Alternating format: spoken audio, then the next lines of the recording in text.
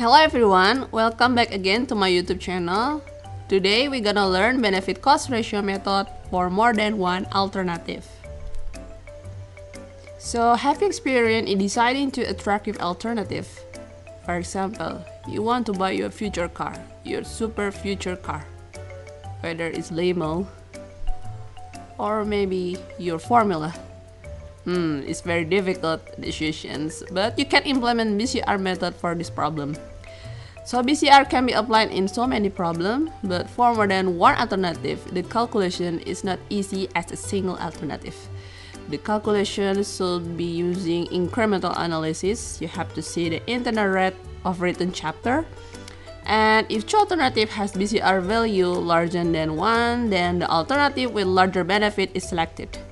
If two alternative has less than 1, then the alternative with less cost is selected.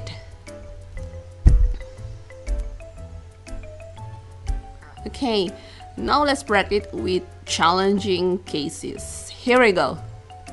So the Baker Co has conduct feasibility analysis of two machines with equal useful life 10 years. So we have machine X and machine Y. They have different initial investment, annual profit, and salvage value. And with interest rate 50%, which machine is worth to buy? So the answer is the calculation must be estimated using incremental analysis because in this case we have two alternatives with different alternative but have uh, equal useful life.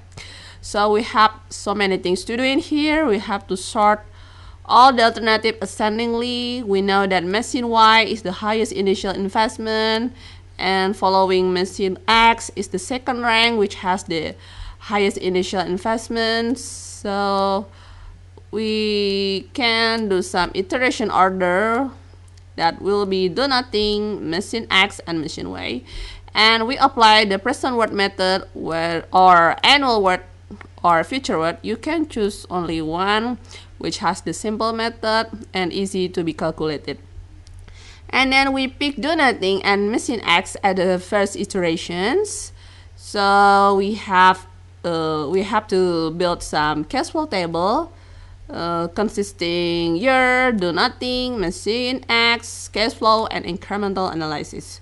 So we put some cash flow in each alternative.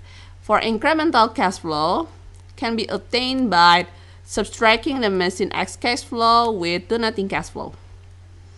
And then we have uh, BCR formula and we got the value in here 1.49 so in this case the machine X proposal is acceptable so that the machine X will be analyzed with machine Y so we compare the machine X with machine Y and do incremental analysis as well and incremental incremental analysis uh, can be obtained by subtracting the cash flow in machine Y and with cash flow with uh, machine X. So we got the BCR value in here 1 for uh, 1.45. So Uh, in this case that the machine Y proposal is more acceptable as the final decisions.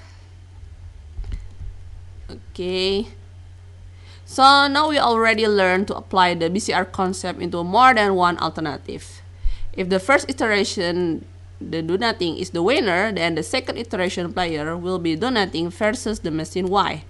And if the last winner of the second iteration is do nothing, then the final decisions is considering to buy another machines.